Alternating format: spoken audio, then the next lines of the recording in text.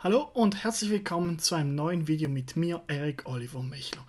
In diesem Video gehe ich der Frage nach, wie man denn einen WhatsApp-Button in WordPress einbauen kann, damit eure Kunden, eure Besucher euch schnell und einfach kontaktieren können. Also bleibt dabei, jetzt geht's los!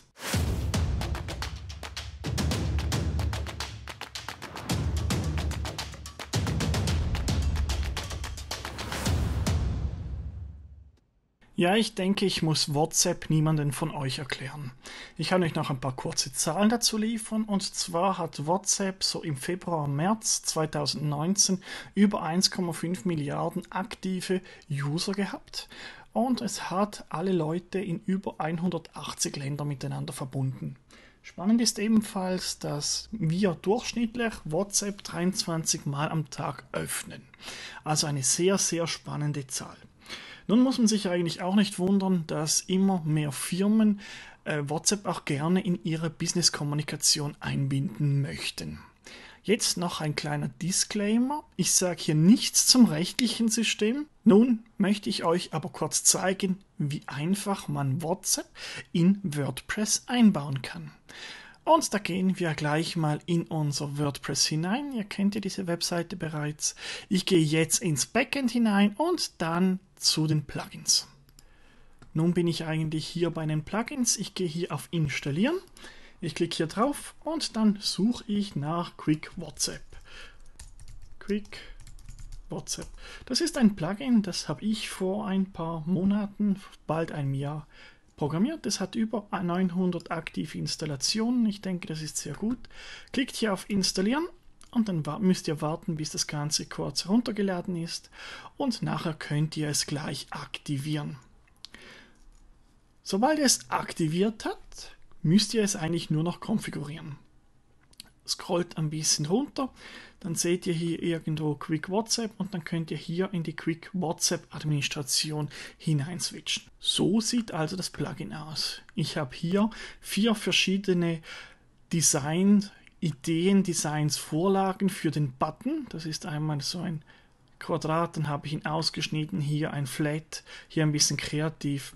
Das könnt ihr nachher alles auswählen. Als erstes braucht ihr hier eine Telefonnummer. Gebt sie so ein, dass ihr hier die Ländervorwahl habt, dann die Vorwahl und die Telefonnummer. Sobald ihr eure Nummer hier eingegeben habt, dann klickt hier auf Save.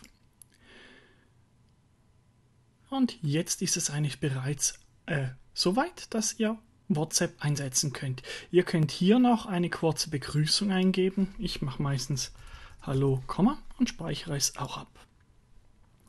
Wenn ich weiter runter scroll, kann ich dann die Buttons auswählen, die ich hier habe. Also 1, 2, 3 oder 4. Ihr seht ihr hier. Standard, Clear, Flat und Kreativ. Ich lasse jetzt mal das Standard sein. Ich kann natürlich auch einen eigenen Button hier einprogrammieren. Da muss ich hier einfach die URL des JPEGs hier eingeben. Ich zeige euch nachher, wie das aussieht. Im Frontend sieht es dann ganz einfach so aus, wenn ich dann das ganze Seite neu lade. Dann sieht man eigentlich noch nicht wirklich was. Also ihr seht, ich habe hier auf Seiten, ich habe nichts auf Seiten. Und auch bei Beiträge habe ich noch nichts dabei. Ich muss es nämlich hier zuerst aktivieren. Ich möchte hier den Chat-Button aktivieren. Dann klicke ich mir mal auf Aktivieren, speichere es ab und schaue. Und dann sehe ich, hier ist jetzt der Chat-Button ist aktiv, aber der Share-Button ist deaktiviert. Ich kann den hier auch noch aktivieren.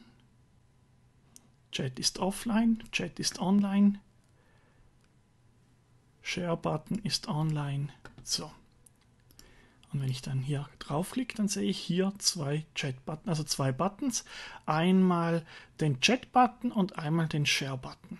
Was bedeutet das? Ist eigentlich nichts anderes. Wenn ich hier auf den Share-Button klicke, dann wird diese URL hier geteilt mit demjenigen, den ich dann in WhatsApp markiere.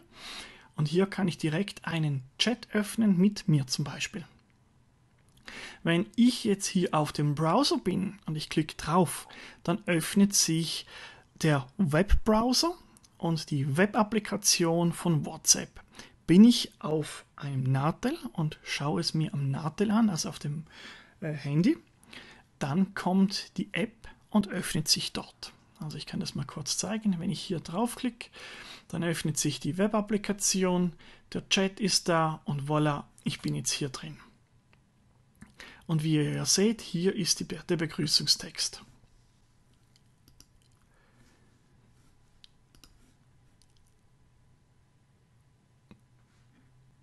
Nun kann ich natürlich auch ein, den Chat-Button in WooCommerce einbauen. Also wenn ich zum Beispiel möchte, dass er immer nach dem Warenkorb-Button, also nach dem Add-to-Cart-Button drin ist, dann kann ich ihn dort auch aktivieren. Das ist vor allem spannend, wenn man vielleicht Fragen beantworten möchte im Online-Shop.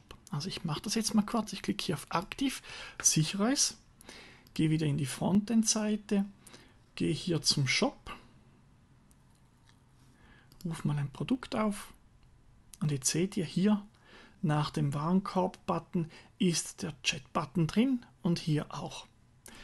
Nun, vielleicht möchte ich gar nicht, dass überall diese zwei Buttons auftauchen. Dann habe ich auch die Möglichkeit, noch selbst kleine Shortcodes zu verwenden. Dann kann ich nämlich gezielt steuern, wo ein Chat-Button und wo der Share-Button auftauchen sollte. Also ich kann jetzt hier einfach das Ganze deaktivieren. Also wenn ich hier wieder draufklicke, ist der Button hier überall weg. Aber ich kann jetzt zum Beispiel den Quick Chat Button hier einbinden, wenn ich ihn zum Beispiel nur auf der Kontaktseite haben möchte.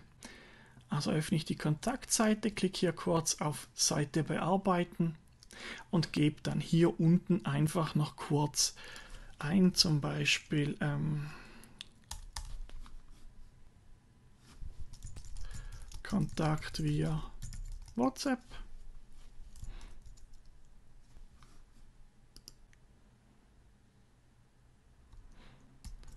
Gebe den Shortcode ein, aktualisiere es und dann schaue ich im Frontend und sehe, der Button ist drin.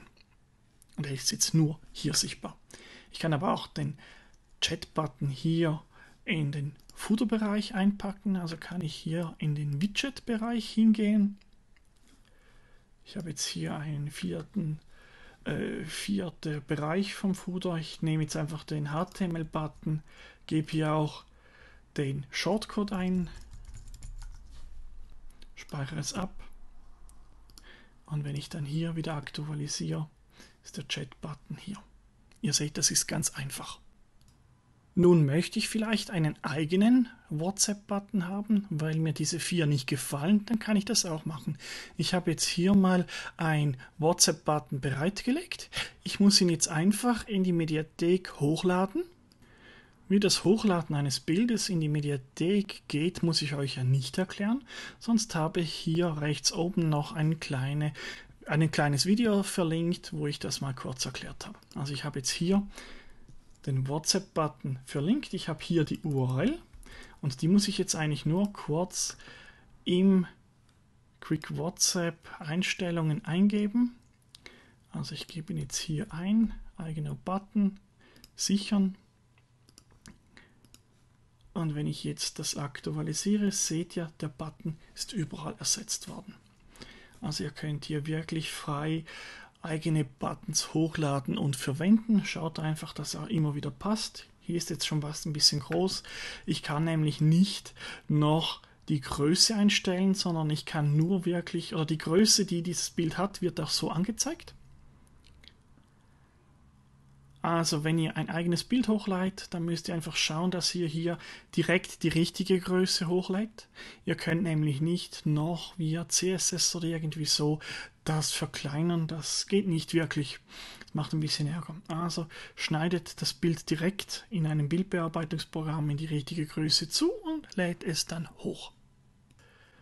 Und dann gibt es natürlich noch die Möglichkeit eines sogenannten Floating Buttons. Das ist so ein Button, den ihr immer wieder seht auf der Webseite, die irgendwie rechts oder links positioniert sind und immer an der gleichen Position im Browser stecken bleiben.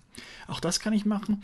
Da habe ich nämlich hier drin noch die Floating Button Position. Also ich nehme jetzt an von links nach rechts also respektive von rechts nach links, also von hier in die Mitte, gebe ich jetzt mal ein 10%. Ich kann aber auch Pixel nehmen, zum Beispiel 100 Pixel oder 10 Pixel. Dann nehme ich noch 10% von unten nach oben, speichere es ab und aktiviere noch den Floating-Button. Und jetzt, wenn ich das aktualisiere, dann seht ihr hier den Button. Diesen Button könnt ihr ausnahmsweise noch nicht selbst stylen. Das mache ich dann in einem der nächsten Aktualisierungen von meinem Plugin. Aber ihr seht jetzt, der Button, dieser WhatsApp-Button, der ist immer auf der gleichen Höhe. Das ist ein sogenannter Floating Button. Selbst wenn ihr den Bildschirm vergrößert oder verkleinert, er ist immer 10% von unten, 10% von der rechten Seite, so wie ich es hier im Backend eingestellt habe. So, nun wisst ihr also, wie ihr sehr einfach und sehr schnell ein WhatsApp-Button in euer WordPress einbauen könnt.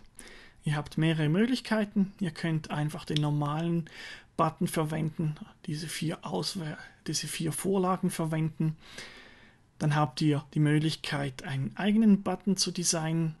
Ihr könnt einstellen, ob ihr den Chat-Button aktiv haben möchtet oder ob ihr den Share-Button aktiv haben möchtet. Ihr könnt auch den Share-Button selbst bestimmen. Ihr könnt aber auch einstellen, ob ihr das bei WooCommerce zum Beispiel nach dem Warenkorb eingeblendet haben möchtet. Und ihr habt auch die Möglichkeit, ein Floating-Button zu aktivieren und zu positionieren. Und ebenfalls könnt ihr das Ganze mit einem Shortcode überall, wo ihr wollt, einbauen. Also nun wisst ihr, wie man WhatsApp in WordPress einbauen kann. Wenn ihr Fragen zu diesem Plugin habt, dann schreibt es mir unten rein. Ihr könnt mir aber auch eine E-Mail schreiben. Dann hoffe ich, euch hat dieses Video gefallen. Ich würde mich freuen, wenn ihr meinem Video einen Daumen hoch oder auch einen Daumen runter geben würdet. Ich freue mich auf alle Reaktionen. Ebenfalls würde ich mich freuen, wenn ihr meinen Kanal abonnieren würdet. Dann wünsche ich euch jetzt noch einen schönen Tag und viel Spaß mit WhatsApp. Bis dann, tschüss.